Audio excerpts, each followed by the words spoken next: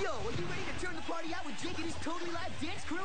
Then get ready for the ultimate battle dance-off in our Jamming with Jake Marathon. We have a winner! With your parents okay, you can go to ToonDisney.com slash Jake and vote for who you think is the coolest moves. And while you're there, send a shout-out to your peeps. NYC, what? Then tune in tomorrow to see which player will be representing their winning moves, and you might even see your shout-outs on TV. During our Jamming with Jake Marathon, tomorrow at 2, 1 Central on Toon Disney.